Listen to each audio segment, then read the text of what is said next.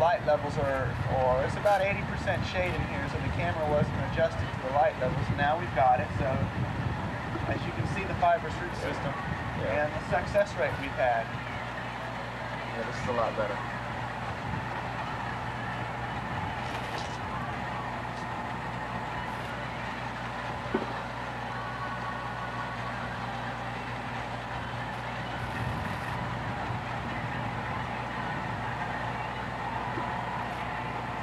Thing there. This is a picture of the uh, cuttings actually getting misted. These are fresh cuttings. They were stuck um, two weeks ago. You can see the health in the cutting itself. All uniform, all green, and the spray pattern.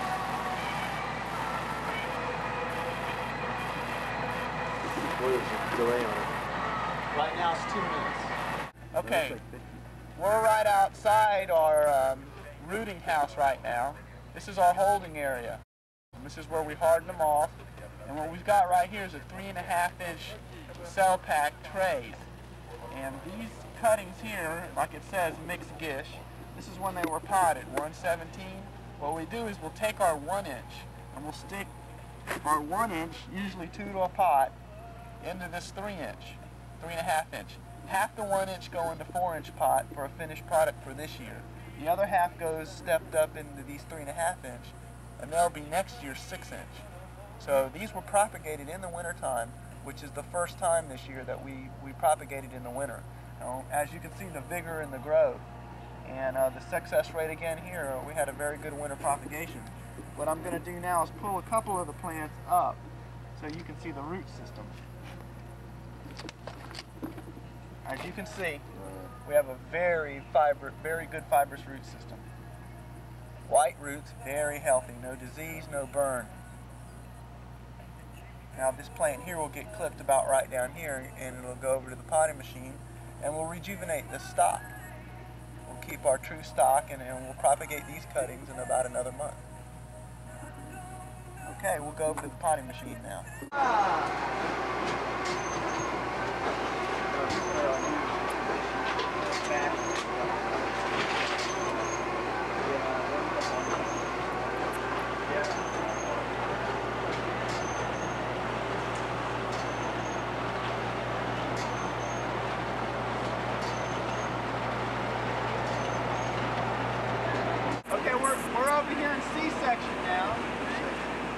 built some new greenhouses, and what we got here not a totally finished product, but what we got is a product that's ready to go be pre-cooled before it blooms. So this is the final stage of production before we go into the last phase to sell it. So what I want to do here is pick up a couple examples. You can see the variety. What I want to point out here is the vigor, the shine, the luster in the leaf. The beautiful plants. Notice the head size, the uniformity throughout the whole bed. All the uniformity here is the key. That's the key to making a florist plant, which is what Archie Hamlin's nursery is known for. Again, like Archie has done, he's taken out the plant and look at the root system. It's gorgeous. These plants will be in the stores in two months. The buds here. These plants are hardened off.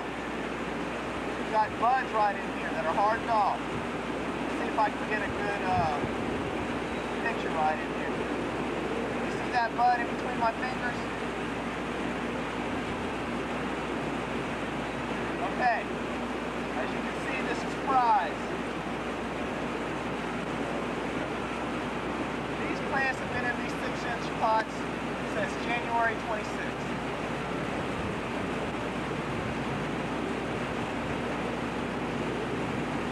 What we're going to do next is go to the other side of C-section to some plants that we have blooming.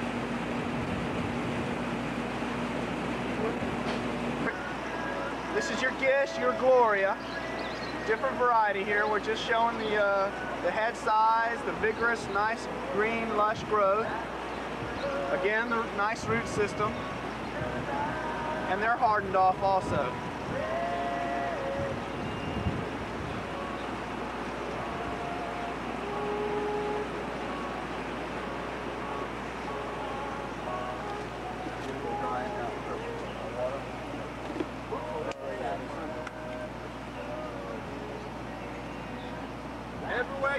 You see nice green growth. No chlorosis, healthy.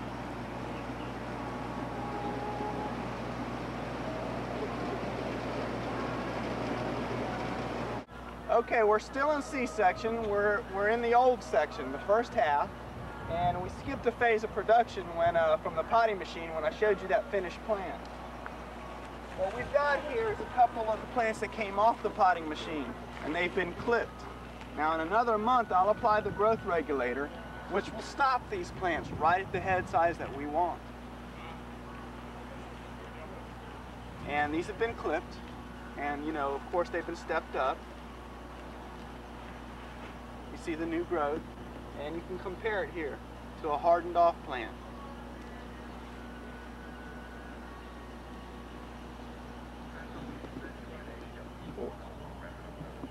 These are younger than the plants that we just looked at. That's why you see a lighter color green. Very nice plants. And what we can do is just go right next door here. Right there, and we've got some plants that are getting ready to go in the cooler, and we got some that are blooming in the field right there. We're at Gish right now. We're going to go to some dogwood, and then we're going to go to some some Vogels that we got some stock in from Oregon. They're, they're Helmut Vogels, they're Ingas. You ready? Yeah. Okay. We're still next door in that bed and C section. Here's a dogwood. You can see the root system. And if you come right next door to there, you can see your Ingas. And then right over here we got some Ingas that are blooming. We got some Ingas that we got in some 8-inch bulb pans.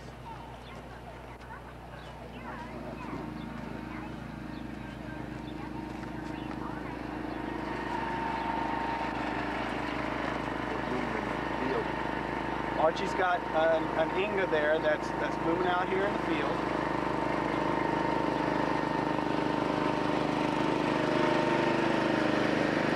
Look at the head size and the color. Beautiful plant. I got it. Got it?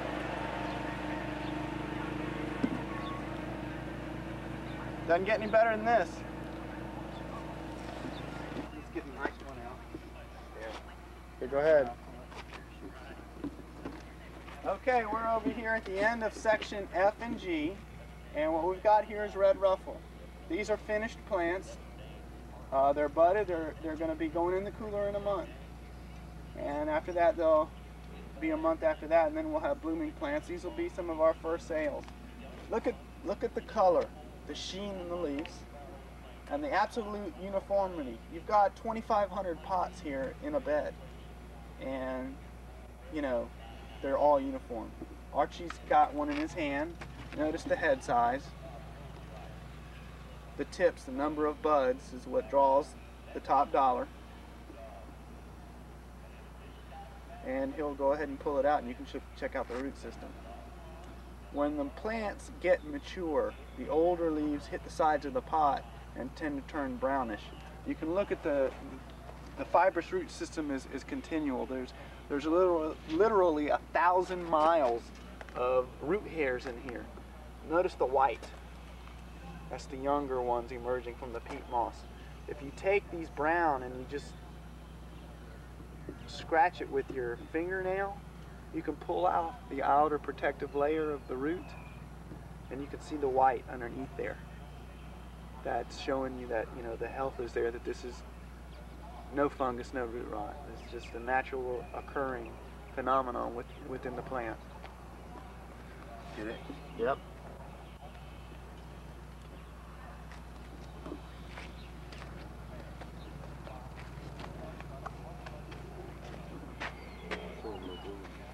Ready? Okay. We're at A section now. Uh, since starting over, we, we've changed our entire production system. This used to be where we propagated. Now we grow on, and what you see here is various varieties, florist varieties. And they're in a state of uh, very good health. You, you, they're smiling at you. Look at the look at the shine in the leaves. I'll pick a pot up here. There you go. Gish. This is the hardest variety to root. Look at the head size. These are for a little bit later on in the year. The uh, the bud set is not quite as as as hard as the other plants. See if I don't lose this tag. Let me flip up another one. Again, there's your root system.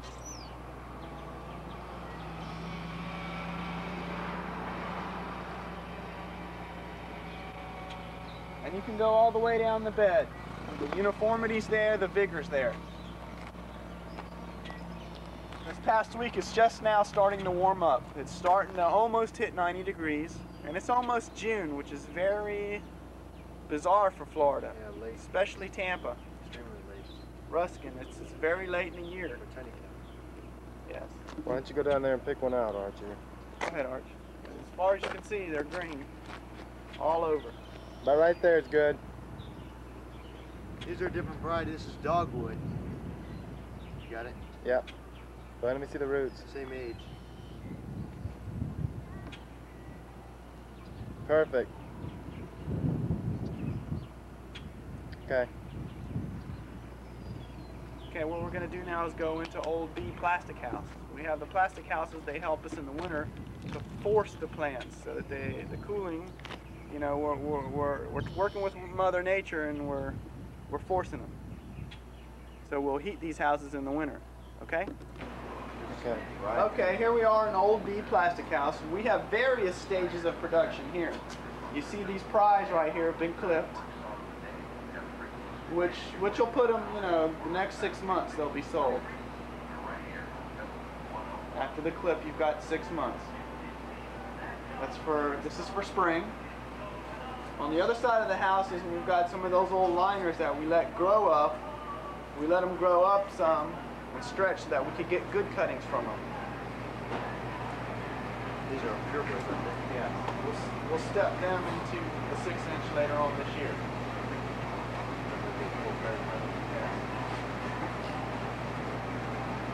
We've got some red ruffle over here that, that either will grow these for the nurseries versus your florists, or we'll clip them, take the cuttings and, and plan them for florists. But it looks like we're going to keep these for nursery right here. The difference is the head size, and of course they're a cheaper plant. The quality is there, the vigor is there. It's less labor intensive. You, you save yourself this clip right here. And six months of growing time, which, you know, your fertilizer, you know, your time of production, your cost are lower. Still a very nice plant. And you can see the root system again.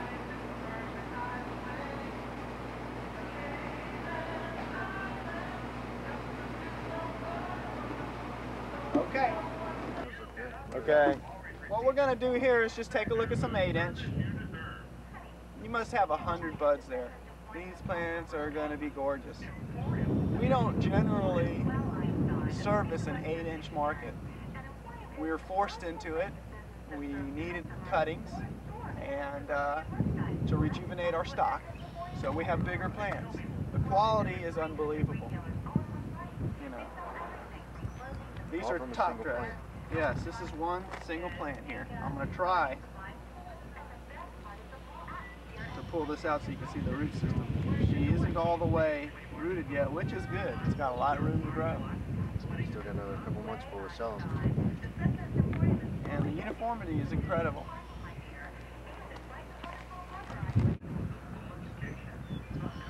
What you've got here is mixed beds.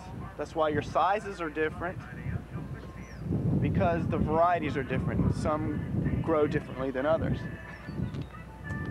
And in the middle there, you've got uh, some red ruffle that were clipped. Talking about the number of buds, so you'll get an idea. The head size, the number of buds. This is what it's all about. Uniformity, absolute uniformity. Working with nature.